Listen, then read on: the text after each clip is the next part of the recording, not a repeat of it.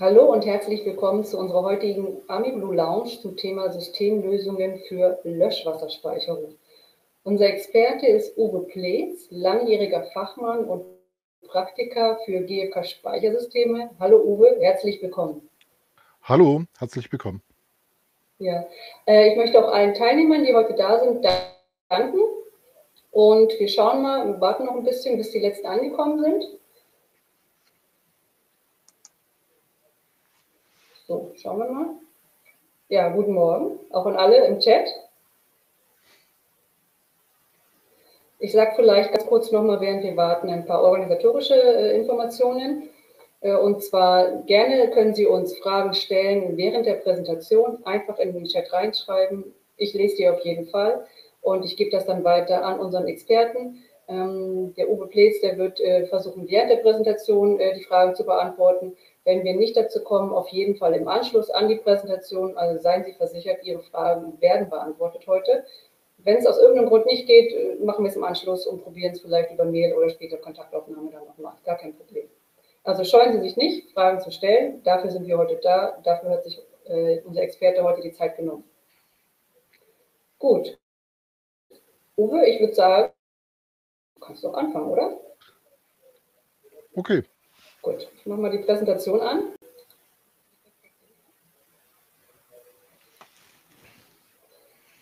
So. Also, wir wollen heute über Löschwasserspeicherung sprechen, äh, speziell über äh, Fertigteilbehälter aus GFK für die Löschwasserspeicherung. Ich hatte mir folgendes Prozedere vorgestellt. Äh, wir erzählen, äh, wir reden erstmal kurz über Grundlagen Löschwasserversorgung, äh, sprechen dann über die Behälter an sich von der Firma AmiBlue, Werkstoff, Konstruktion, Ausführung. Ähm, ich würde dann einen kurzen ähm, Überblick geben über Montage und Einbau und vielleicht am Ende noch ein paar Beispiele, ein paar Einbaubeispiele zeigen, wie es dann im Endeffekt so auf der Baustelle aussehen könnte. So, beginnen wir Grundlagen Löschwasserversorgung. Die Erschließung von Löschwasser äh, mit Löschwasser von Flächen, die eine Nutzung haben, egal welcher, zum Beispiel Wohnen, Industrie, Gewerbe. Ähm, es ist ein essentielles Kriterium, um, für die, um die Anforderungen der Bauordnung, äh, nämlich eine wirksame Löscharbeiten durchzuführen, gerecht zu werden. In der Regel stehen da der Feuerwehr im unmittelbaren Umgebung der Brandstelle genügend Löschwasser zur Verfügung, das zum Beispiel aus Hydranten der zentralen Wasserversorgung entnommen werden kann. Äh, die Ergiebigkeit von Hydranten ist jedoch auch nicht unbegrenzt und bei Großbränden kann es dort der Löschwasserbedarf schnell die Kapazität dieser Entnahmestellen schnell übersteigen. Und dadurch ähm, ist die Frage nach der ausreichenden Bemessung der Löschwasserversorgung, insbesondere bei Objekten mit großen Brandabschnitten oder großer Brandlast, sehr wichtig. Ähm, für die Löschwasserversorgung gibt es dafür auch ähm, verschiedene Vorschriften und Normen. Zum Beispiel für die Versorgungsleitungen an sich und die Hydranten ist das das DVGW Arbeitsblatt W331. Und für die unabhängigen Löschwasservorräte, sprich Löschwasserteiche, Löschwasserbrunnen, Sauganschlüsse, gibt es äh, entsprechende DIN, äh, Normen, DINs, äh, so auch die unterirdischen Löschwasserbehälter, wo wir mit unseren Röhrenbehältern uns dann befinden. Da ist speziell die DIN 14230 dafür zuständig. Im DVGW Arbeitsblatt W405 ähm, finden wir die Grundlagen für die Ermittlung des Löschwasserbedarfs. Da gibt es dort diese Tabelle, wo drin steht, was die Mindestwerte für den Löschwasserbedarf bei bebauten Flächen, was man dort nehmen muss. Die Tabelle berücksichtigt die bauliche Nutzung und auch die Gefahr der Brandausweitung. Die erforderliche Löschwassermenge muss dabei in einen Umkreis von 300 Metern vom Objekt entnommen werden können. Ähm, man muss einkalkulieren, dass dort Hindernisse wie Autobahnen, Bahnlinien und so weiter, dass man die mit berücksichtigt. Und die Mindestzeit für eine Entnahme muss mindestens zwei Stunden betragen. Ähm, Uwe, eine Frage noch. Du hast vorhin am Anfang gesagt, unterirdische ähm, Wasserspeichersysteme, Löschwasserspeichersysteme. Ja. Das heißt, auch nur wirklich unterirdisch, ja? Die kann man nicht äh, oben freistehend hinstellen? Sicherlich geht es auch freistehend, dann sind's, würden wir es, also sag ich mal, mit unserer Bauweise eher Richtung, ich nenne es mal Schächte äh, realisieren. Also mit den Behältern, die ich, von denen ich jetzt spreche, geht es eher in die unterirdische Richtung, also Okay. eingegraben. Hm. Aber eine oberirdische Variante wäre auch möglich, wenn man das aus irgendwelchen Gründen braucht. Wäre möglich, müsste man dann modifizieren. Ich sag mal, dann würde ich mit Sicherheit kein Stecksystem nehmen, sondern würde eine Verbindung laminieren, um dann den Behälter zu bauen. Müsste ich dann noch überlegen, ein spezielles Harz zu nehmen, äh, wegen der, wegen der UV-Einstrahlung durch Sonnenlicht, was ich ja an der Erde so nicht habe. Äh, ansonsten ist es dann auch machbar, das ist richtig. Okay, wollte ich nur mal klarstellen. Dankeschön, ja? Okay, gut.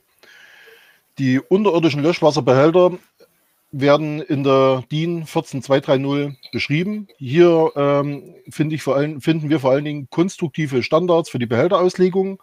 Dabei darf die Behälterform beliebig gewählt werden ähm, und an die örtlichen Verhältnisse angepasst werden. Es gibt grob gesehen, sage ich mal, zwei Behälterausbildungen. Entweder ich sage, ich kriege das Gesamtvolumen in einen Einzelbehälter hin oder ich muss mir das Gesamtvolumen auf mehrere untereinander verbundene Behälter aufteilen.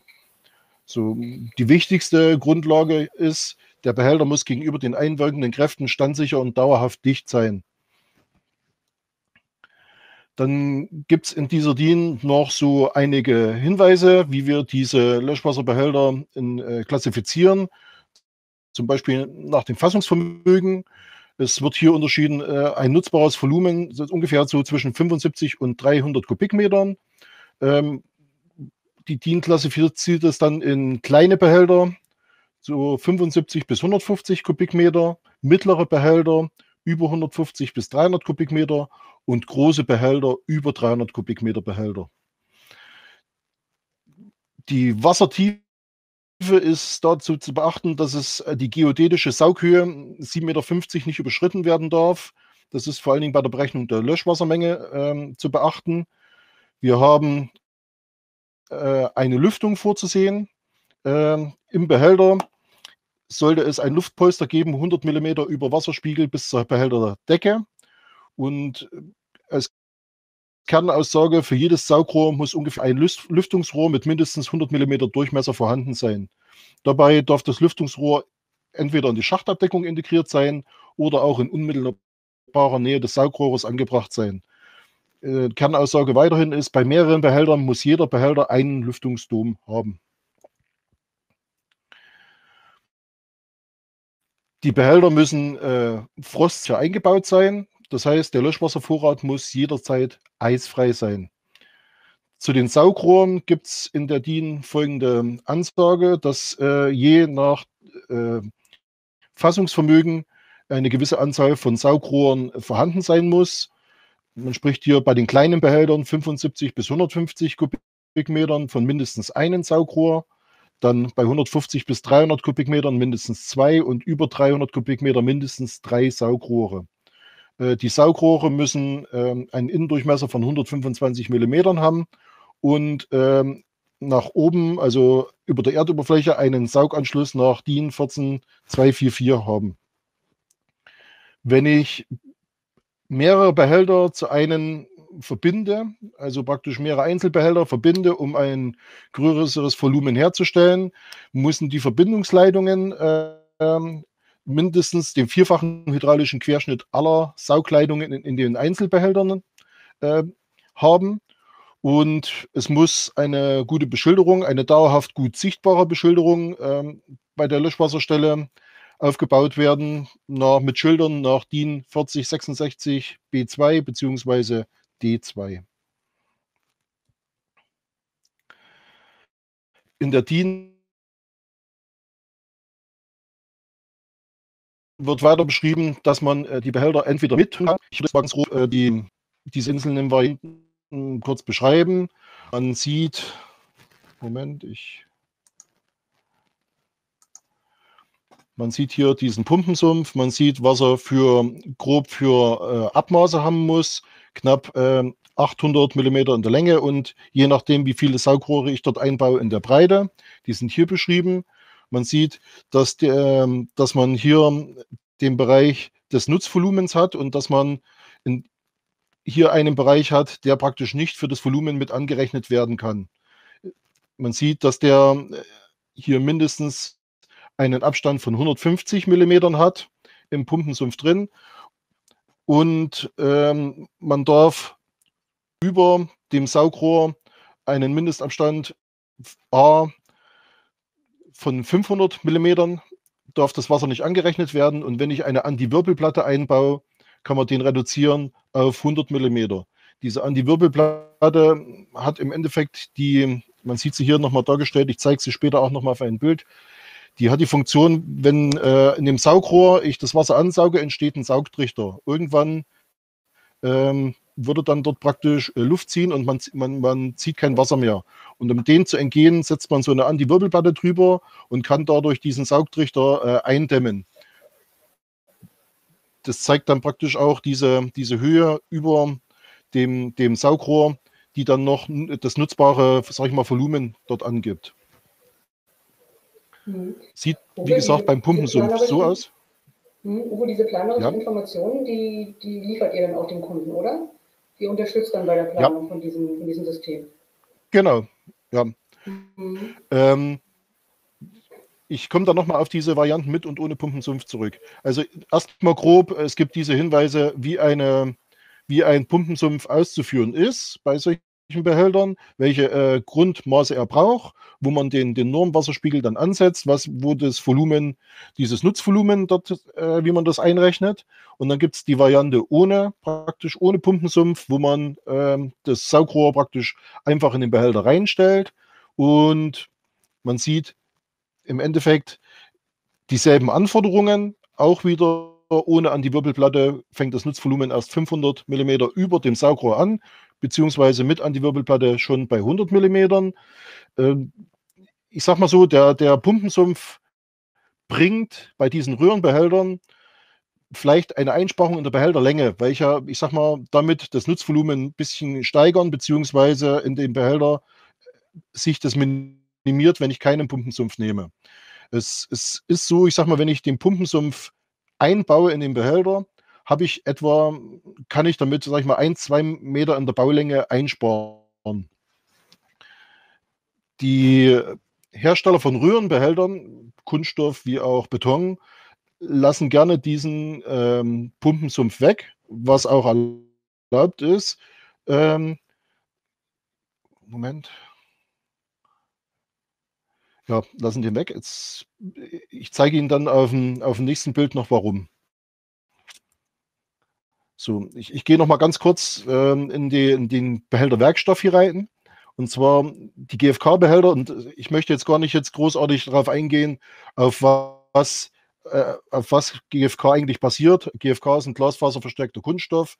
Ich habe, äh, der basiert auf Glas, Harz und Sand und einigen Zusatzstoffen wie Beschleuniger und Härter. Das Wichtigste, wo ich eigentlich darauf hinweisen will, ist, GFK-Rohre sind ein Vollwandsystem. Also ich habe nicht irgendwo eine dünne Innenschicht mit draußen ein paar Versteifungsrippen drauf. Nee, ich habe eine durchgängige tragende Wandstärke. Ähm, das merkt man auch, ähm, dass diese Rohre zwar ein biegeweiche Rohre sind, aber sehr viel mehr vertragen äh, in der Richtung ähm, Verformung. Die werden sich weniger verformen als beispielsweise andere Kunststoffrohre. Der Behälter, von dem wir ähm, bei AmiBlue sprechen, als Standardbehälter, äh, sieht in etwa so aus.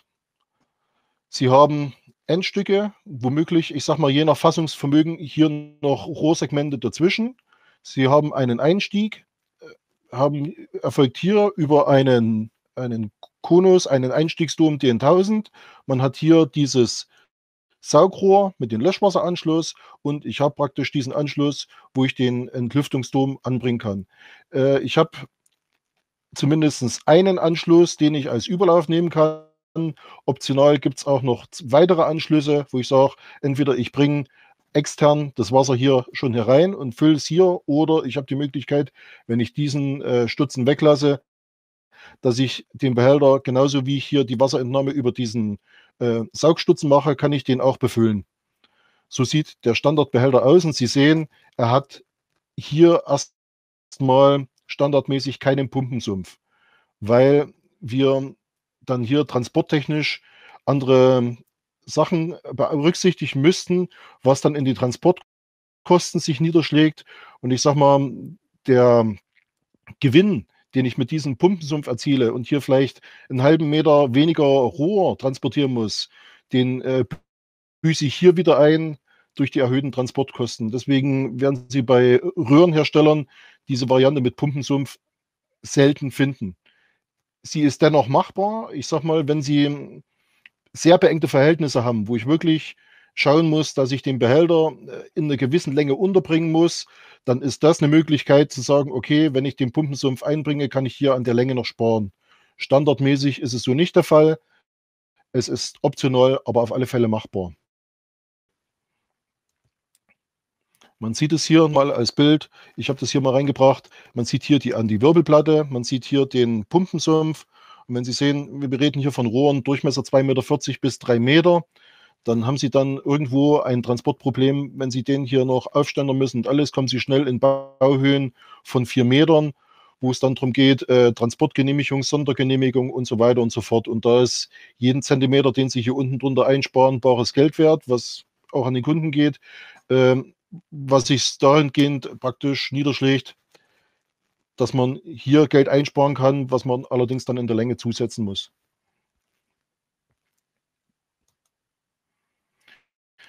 In der Konstruktion sieht es so aus, wir haben den Standardbehälter einsträngig, hier schon mal gezeigt mit noch mehreren Rohrsegmenten, um praktisch größere Volumina da mit reinzubringen.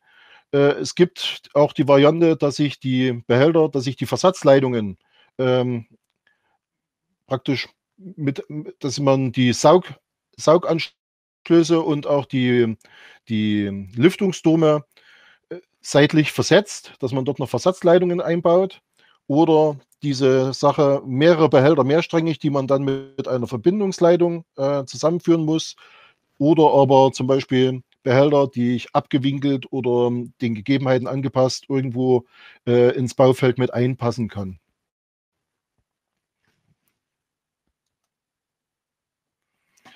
Standardmäßig äh, haben wir uns bei AmiBlue auf drei Nennweiden geeinigt. Äh, Im Endeffekt, ich habe in den Nennweiten DN 2400, DN 2700 und DN 3000 äh, die verschiedenen Volumina in Abstufungen einmal 50, 75, 100, 150 bis, die bis 300 Kubikmeter. Habe dort die gewissen Baulängen und äh, diese Behälter können wir standardmäßig in relativ kurzer Zeit liefern. Heißt aber nicht, dass wir, sag ich mal, andere Baulängen nicht auch bauen können oder andere Nennweiten. Wenn es zum Beispiel einbautiefenmäßig irgendwo Probleme gibt, kann man auch gerne noch reden, dass man sagt, man geht zum Beispiel auf DN 2200 runter oder beziehungsweise auf DN 2300. Lässt sich alles machen, ist dann aber eben kein Standard mehr, muss man drüber reden, lässt sich auch bauen, muss bloß eben preislich anders dargestellt werden.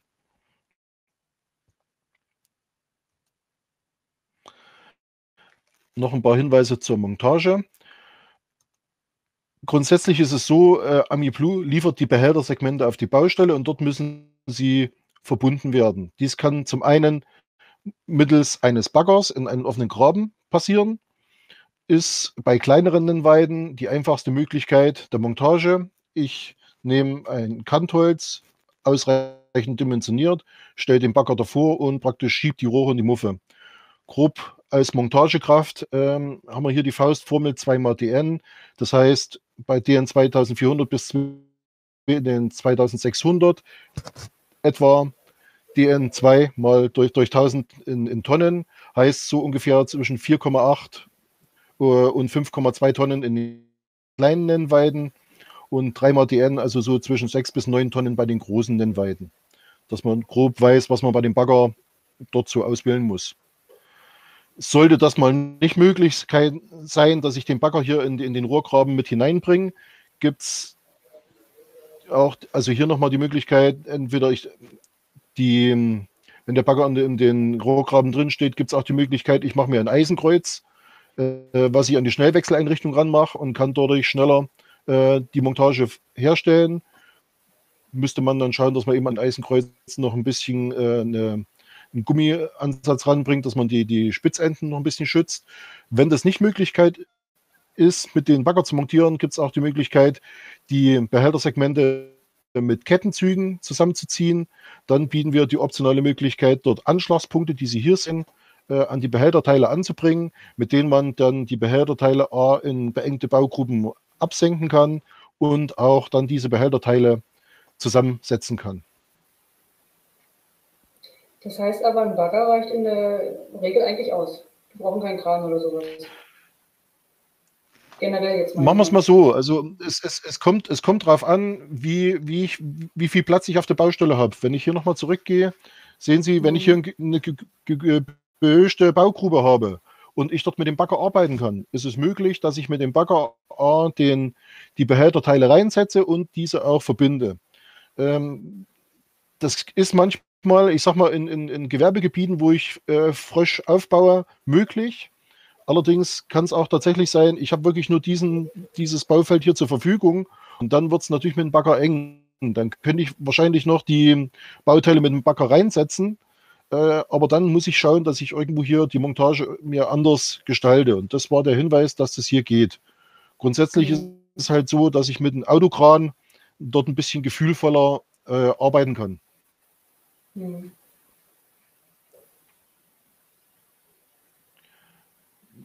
Ich möchte hier gerne noch ein paar Beispiele zeigen. Das ist zum Beispiel ein Löschwasserbehälter DN 2400, 100 Kubik. Hier haben wir komplett nur mit einem Bagger gearbeitet. Ähm, Lieferung der Teile, Einbau war etwa einen halben bis dreiviertel Tag äh, erledigt.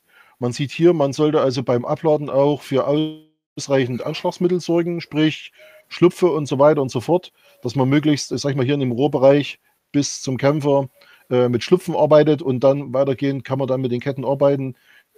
Wir sollten es vermeiden, hier die mit den Ketten irgendwo unter die Rohre zu kommen, um dort mögliche Beschädigungen irgendwie ein bisschen fernzuhalten. Man sieht hier, er hat hier Schlupfe genommen. Wir setzen das mit dem Bagger hier rein in die Baugrube und haben praktisch diesen Behälterteile mit dem Bagger zusammen montiert, also gekuppelt. Das ist ein, ein großer Behälter, den 3000 äh, in 200 Kubik. Man sieht, es war eine teiloffene Baustelle. Hier sieht man auch, dass man bei solchen Baustellen zum Beispiel mit dem Bagger nicht mehr rankommt. Hier haben wir dann die Option gewählt, dass man die Bauteile untereinander mit diesen äh, Versetzhilfen dann praktisch mit Handkettenzügen miteinander verbunden haben. Sieht man praktisch dann auch den Einbau. Äh, wie es dann tatsächlich im Ende aussieht, mit Beschilderung, Saugrohr und Einstieg. Äh, der Lüftungsturm war weiter hinten.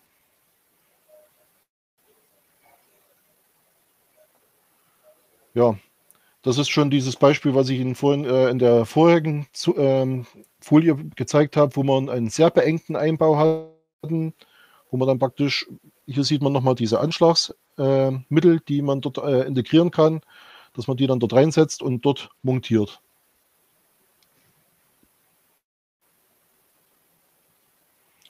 Oder man macht es mit Traversen und nur mit Gurten und montiert die ganze Sache ebenfalls auch mit einem Bagger. Das ist so ein Beispiel, wo ich sage, okay, hier hat der Kran praktisch nur abgeladen und dann hat man das mit dem Bagger zusammengedrückt.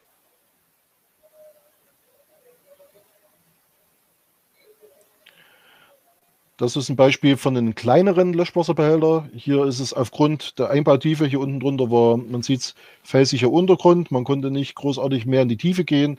Deswegen haben wir dann die Nennweite reduziert, sind auf den 2200 gegangen, ähm, haben eine relativ geringe Überdeckung, was wir auch mit den Rohren, mit, mit den Steifigkeiten, die wir zur Verfügung haben, SN 2500, SN 5000, SN 10.000 auch äh, so lösen können. Äh, grundsätzlich bei den Steifigkeiten ist es so, wir haben äh, standardmäßig erstmal SN 2500 ähm, für diese Behälter vorgesehen. Es ist so ausgerechnet, dass man sagt, bei Meter, äh, knapp bei Meter Überdeckung, bis 1,20 Meter 20 Überdeckung, ist damit gewährleistet, dass man eine Verkehrslast von SLW 60 mit den Rohren äh, aushält und diese dort auch im Verkehrsbereich eingebaut werden können. Ähm, wenn man jetzt diese Überdeckung aus irgendwelchen Gründen reduzieren muss, kann man dann auch hö auf höhere Steifigkeiten äh, gehen und kann das dann optional anpassen. Äh, ich habe eine Frage ja. dazu. Und zwar bei, der, bei so einer geringen Überdeckung, wie sieht es da mit dem Frostschutz aus? Hier war es so, dass praktisch die Straße noch ein bisschen höher kam. Wir hatten wir ungefähr 80 Zentimeter Überdeckung. Ich sag mal so, mhm.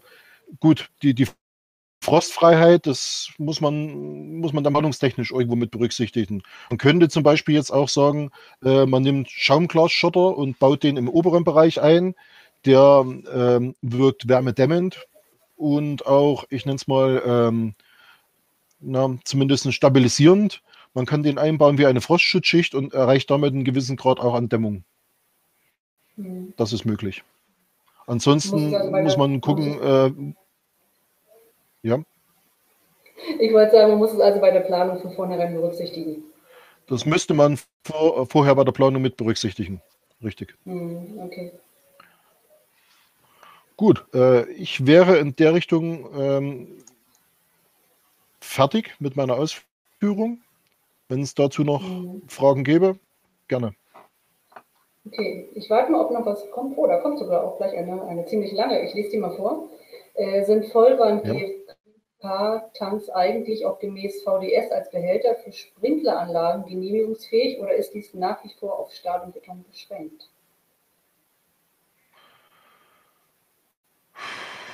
Das ist eine Frage, die ich leider jetzt nicht beantworten kann. Ich weiß, wir haben okay. Tanks schon auch für Sprinkleranlagen gebaut.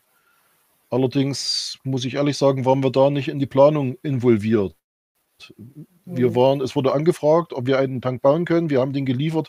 Planungsseitig waren wir da nicht involviert. Tut mir leid, da kann ich dazu nichts sagen. Das heißt also von unserer Seite als Lieferant, als Hersteller können wir es auf jeden Fall machen. Äh, und äh, von Planungssicht, da müsste man sich dann nochmal vielleicht ähm, gesondert zu verständigen. Genau wenn ich so. das mal so zusammenfassen darf. Ja. Hm. Ich habe noch eine Frage. Was ist, wenn der Grundwasserstand bis GOK steht? Äh, grundsätzlich ist es so, sag ich mal, ähm, die Rohre oder die Behälter sind auftriebssicher, wenn man als Faustformel nimmt, äh, eine Mindestüberdeckung von 0,75 dN. Sprich, bei DN 2400 zum Beispiel sind es 1,25 Meter oder 1,30 Meter. Bei drei Metern müssten es ungefähr so 1,75 Meter sein, die ich bräuchte, wenn das Wasser bis Oberkante Gelände steht. Wenn man jetzt mal rein konstruktiv sieht und sagt, man hat einen Einstiegsdom, setzt dort einen Konus mit 60 Zentimetern drauf. Mein Dom ist selber schon, äh, sag ich mal, 30 Zentimeter und obendrauf noch eine Abdeckung, bin ich in den meisten Fällen irgendwo knapp bei einem Meter Überdeckung. Das heißt, ich habe dort nicht mehr so sehr viel, um bei wirklich Grundwasser bis Oberkante Gelände äh, noch was konstruktiv noch zu ändern. Man könnte im Endeffekt eins machen, dass ich dann eine Auf über eine Auftriebssicherung nachdenke. Man könnte da zum Beispiel sagen, äh, wir nehmen ein Geogitter, legen das praktisch über die, die Rohre bis zum Kämpfer, äh, gehen zur Seite raus und versuchen dort noch Erdlast links und rechts zu aktivieren, was ich dann praktisch wie einen Sattel über das Rohr drüber lege.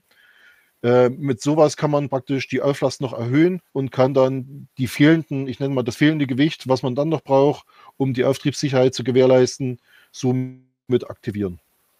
Mhm. Es gibt auch andere Möglichkeiten, dass ich sage, ich mache dann praktisch, lege, ähm, ich nenne es mal ähm, Betonplatten ähm, beziehungsweise lege Streifenfundamente und müsste dann die Behältersegmente dort äh, mittels äh, Spannbändern aus Kunststoff oder aus Edelstahl dort befestigen. Somit könnte ich dann auch eine Auftriebssicherheit äh, herstellen. Grundsätzlich, wie gesagt, bei Gelände, bei Grundwasser bis Oberkante Gelände, dem Worst Case, brauchen wir ungefähr eine Mindestüberdeckung von 0,75 dN, ohne dass wir irgendwo konstruktiv eingreifen müssen. Hm. Und wenn wir eingreifen müssen oder wenn eingegriffen werden muss, dann gibt es dafür auch verschiedene Lösungen, über die man einfach reden muss. Ja, können wir auch noch verschiedene Lösungen dann anbieten. Müssten wir kurz Rücksprache bei uns mit der Anwendungstechnik, aber da gibt es verschiedene Lösungsansätze, die wir auch schon so praktiziert haben, wo wir praktisch dort auch äh, den Kunden unterstützen können. Mhm. Äh, die Fragen kommen und sie bleiben weiter und kommen. Ähm, und zwar die nächste Frage. Ja. Wie sieht es mit der Verfüllung der Baugrube aus? Was muss beachtet werden? Welches Material soll verwendet werden? Ähm, da würde ich gerne auf unsere Verlegeanleitung hinweisen, die wir im Netz finden. Äh, grundsätzlich ist es so, dass wir die, der Behälter ist, ich nenne es mal so, eine große Rohrleitung. Also dazu, in der Richtung müssten wir sie dann auch behandeln. Das heißt, ich müsste nach der äh, 16, EN 1610 praktisch ein Rohrauflager bringen. Ich müsste ein, eine, eine Bettung bringen. Ich müsste ein, mit, mit dem Bettungsmaterial mich beschäftigen, was ein Sandkiesauflager oder, äh, sag ich mal, gebrochen oder rundkornig sein kann. In gewissen Abstufungen. Bei diesen großen Nennweitungen etwa bis 22 bzw. 30 Millimeter. Ähm, man kann danach, also wenn ich die Rohrumhüllung und praktisch die Bettung damit realisiert habe, mit normalem Boden weiter verfüllen. Man kann mit den Gedanken spielen, dass man sagt, okay, ich nehme Flüssigboden zur Verfüllung. Dann sollte man sich überlegen, äh, wie ich die, die Sache mit der, mit der Auftriebssicherung während der Flüssig, des Flüssigbodeneinbaus gestalte. Ja, ansonsten, wie gesagt, ähm, ist der Bodeneinbau oder beziehungsweise die Bodenqualität eigentlich definiert aus den Angaben aus der Rohrstatik, die wir für diese Behälter auch mitliefern. Und hier ist es so der Fall, wir liefern eine prüffähige Statik kostenlos mit. Ähm, der Kunde muss uns im Endeffekt in einem Formblatt äh, die, die Bodenarten und die, ich sag mal, die Bausteinbedingungen angeben und er bekommt dann von uns die, die Statik dafür und dort steht drin, mit welchem Material er einbauen kann. Bei unseren Angeboten mhm. ist es meistens so, dass wir grundsätzlich erstmal Randparameter definieren, wo wir sagen, okay, in diesen Randparametern äh, funktioniert das auf alle Fälle. Ähm, wenn die vor Ort nicht da sind, muss man sich, wie gesagt, mit den Statiker unterhalten und sagen, okay, was haben wir denn da? Und dann wird es überprüft und dann gegebenenfalls angepasst. Das ist kein Problem. Mhm. Und bei den Bildern, die wir hier auf der letzten Folie sehen, äh, sehen da sieht man ja auch ein bisschen, wie die Bettung aussieht, ne? wenn ich es richtig Genau. Hier, richtig. Hier muss man auch sagen, äh, hier sind es äh, größtenteils Behälter, sowohl Trink- als auch Löschwasserbehälter, die hier da liegen und erstmal im Montagestadion man die sieht. Hier sieht man noch nicht großartig viel mit der, mit der Anfüllung.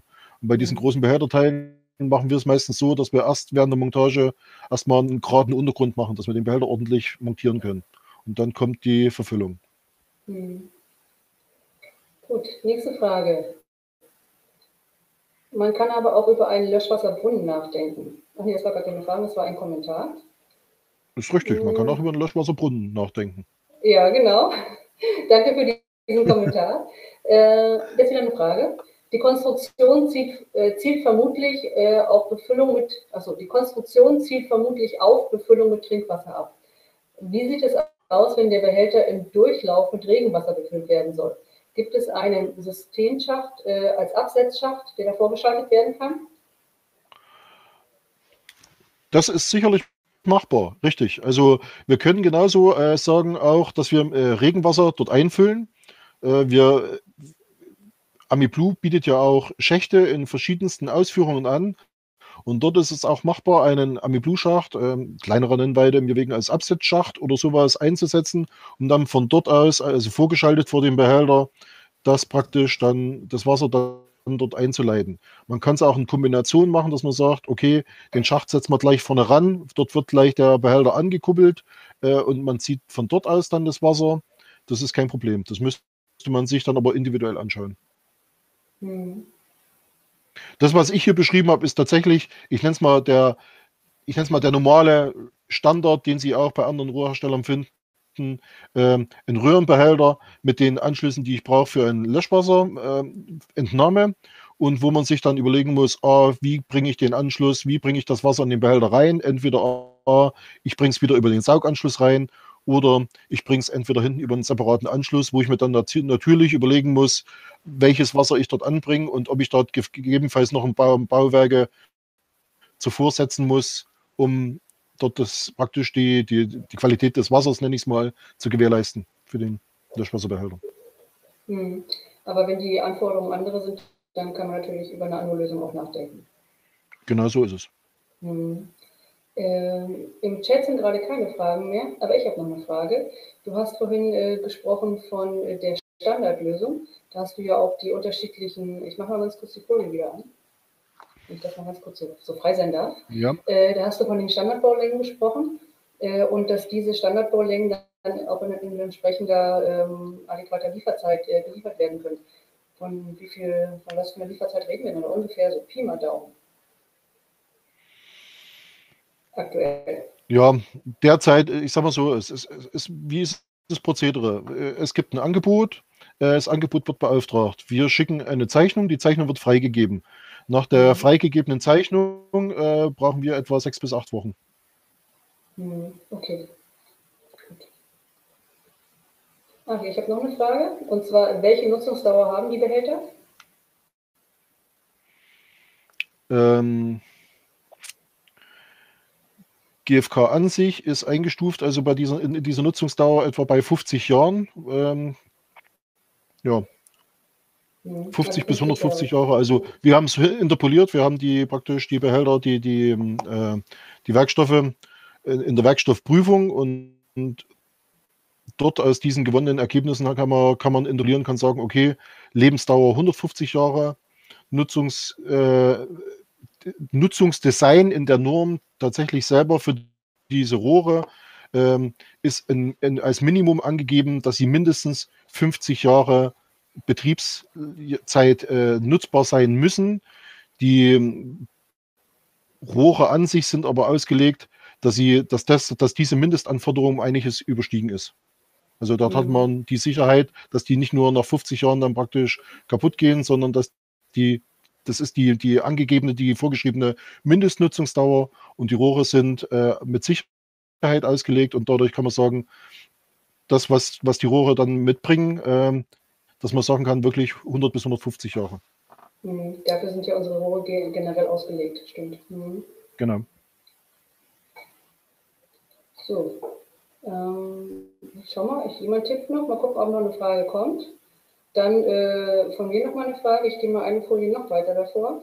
Und zwar hattest du hier so ein paar Konstruktionen äh, gezeigt. Ich nehme mal an, diese Konstruktionsarten, die sind natürlich davon abhängig, wie das Gelände ist, wie das Projekt generell gestaltet ist, wo das hingeht, genau. das Ganze, oder? Mhm. Das ist einfach eine Frage des Platzes auf der, auf der Baustelle, also äh, wo das Projekt stattfindet. Also auf der Baustelle vor Ort. Je nachdem, habe ich den Platz, kann ich den Behälter so setzen, ähm, mhm. dass ich praktisch hier in dem Bereich bin, dass auch hier die, die, die, die Rohre sein können, muss ich sie versetzen, weil ich sage, okay, der liegt in der Straße drin und ich muss die Saugrohre rausführen. Habe ich nicht den Platz an der Länge, muss ich das in mehreren äh, Einzelbehältern äh, praktisch realisieren oder liegt er tatsächlich in der Straße und einem Grundstück, wo ich um die Ecke muss? Möglich ist auch, dass ich sage, ich mache einen Tee oder ich mache eine Batterie oder wie auch immer. Ähm, da sind eigentlich keine Grenzen gesetzt. Alles, was man aus den Rohren machen kann, ist machbar. Ähm, wie gesagt, muss man sich vorher unterhalten. Ich bin jetzt erstmal auf den Standard ausgegangen, habe gesagt, hier, das ist der Standardbehälter. Mhm. Mhm. Alles andere ist machbar. Muss man, muss man sich vorher, ich sag mal, in der Planungsphase darüber unterhalten, was, was geht und was nicht geht. Also wie immer bei uns. Genau so. Mhm. So, ähm, es sind keine Fragen mehr da. Jemand hat sich bedankt äh, für, für den Gruß. Gibt er auch noch. Ähm, und ansonsten, ja, keine Fragen mehr. Ich habe auch keine Fragen mehr. Wenn du noch keine weiteren Ausführungen hast, würde ich sagen, machen wir jetzt auch hier einen Schluss. Alles klar. Ja, Dann. oder hast du noch was, was du gerne ergänzen möchtest? Nein. Gut, hätte ja sein können. Gut, äh, wenn jemand noch Fragen hat, das ist Ihre letzte Chance, der letzte Aufruf sozusagen. Ansonsten beenden wir heute äh, das Webinar jetzt. Äh, und ich glaube, jetzt kommen noch viele Dankeschöns. Genau, möchte ich auch gerne weitergeben an dich, Uwe. Okay, danke zurück. Und, ja. ja, ich freue mich, dass Sie alle da waren. Ähm, wie immer bei uns wurde diese Veranstaltung aufgenommen aufgenommen, werden Sie in einigen Tagen auf die Webseite setzen und, ver Entschuldigung, und veröffentlichen. Äh, alle anderen, alle bisherigen Termine oder Themen wurden ebenfalls aufgezeichnet, sind auf unserer Webseite einsichtbar. Äh, und ich möchte auch schon einladen für nächste Woche. Da ist unser Thema Vortrieb. Äh, und unsere Expertin Manuela Wendt wird Ihnen dann nochmal alles zu den Grundlagen und zur Planung mit Vortrieb, zum Vortrieb mit Ami Blum GFK erzählen. Und natürlich auch für Fragen zur Verfügung stellen. Danke, dass Sie da waren und einen wunderschönen Tag noch. Tschüss. Tschüss.